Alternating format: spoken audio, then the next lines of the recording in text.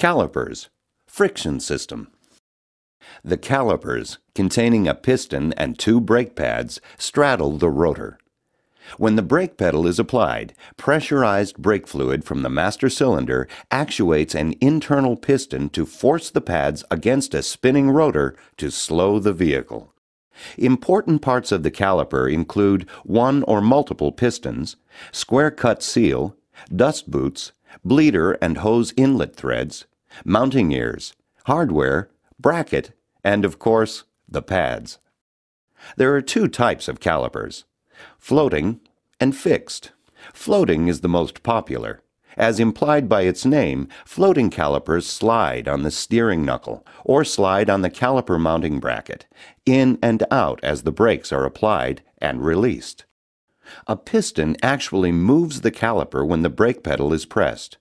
The piston moves the inside pad out to the rotor, and in the process brings the outside pad into the rotor by sliding the caliper back toward the rotor.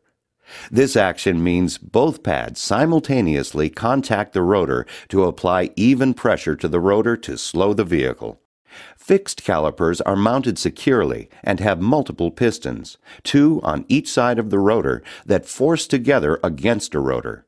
Multi-piston calipers typically have a better feel to the driver, but are more expensive to produce and are generally only found on SUV, heavy-duty and light-duty trucks, luxury, or performance cars.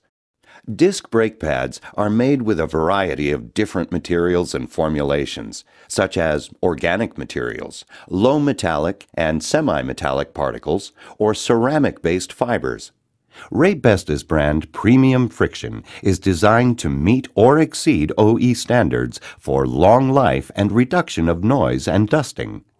It's critical for proper long-term braking performance that premium friction is mated against a premium quality rotor that meets or exceeds OE specifications. This is the best way to bring the vehicle back to like-new performance.